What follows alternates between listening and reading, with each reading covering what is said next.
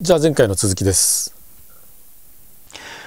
でコンパレーターのスレッショルドレベルをもし CV 制御できた場合にはですね、えー、CV でパルス波をこういじってパルスワイズモジュレーションいわゆるこういう音ですね。コーラス効果みたいなやつ。動画にするとこういうことですわね。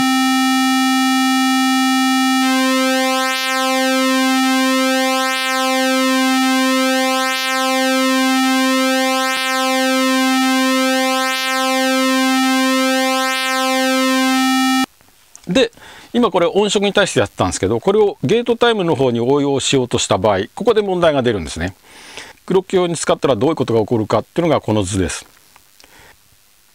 要するに三角波っていうのは徐々に上がってきますから、えー、ピークに来る頂点三角の一番高い位置に来る手前でゲートがオンになっちゃうわけですね。この部分です。で次に一番高いとこ通り過ぎてまた下がってくるとそこでゲートがオフになると。っていうふうになるとですねこの三角波の頂点をまたいでゲートがオンオフになるわけですよね。そうするとこの図よく見ると分かるようにそのスレッシュルドのレベルが変わるとゲートがオンとオフになるタイミングがいろんな場所でオンオフになっちゃうわけですよね。そうすると一定間隔でリズムが刻めないこれがシステム700の VCO を LA4 代わりに使おうとした時にうまくいかなくなってしまった理由だと思うんですよね。でじゃあシステム 100M だとうまくいきましたけどこれなぜかっていうとですねおそらくシステム 100M の VCO っていうのは三角波をコンパレーターに通してるんじゃなくて虚子状波をコンパレーターに通してるんだと思うんですよ。で虚子状波っていうのはどういうのかっていうと、まあ、音はこういう音ですよね。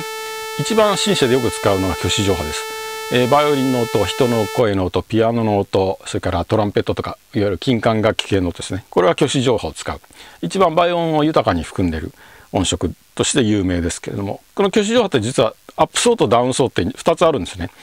えー、図にするとこういうことになるんですけども down saw っていうのは電圧が落っこってくるやつ。アップ層は上ってくるやつを繰り返す。音にして聞くと全然分かりません。どっちが up saw か down saw か分かりませんけれども LFO 代わりに使って例えばピッチをモジュレーションするとこういうことになります。 up saw だとピッチは上っていくし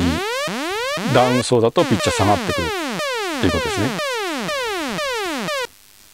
で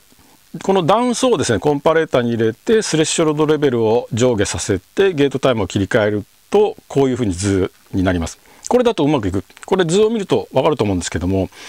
ダウン層が始まった頭で必ずゲートがオンになるわけですよね。でダウン層が降りてきてる途中で必ずゲートはオフになる。だから、えー、ゲートがオンになるタイミングっていうのは必ずダウン層が立ち上がる時にオンになるから、えー、テンポが狂わないわけですよね。三角波の場合は波形の頂点をまたいでゲートがオンになっちゃってたんでそのタイミングが狂ってたとということなんですね。でじゃあシステム700の VCO じゃ絶対これうまくいかないのかっていうとですねなんとかやる方法がありますんでこれを次回説明してみたいと思います。ではでは。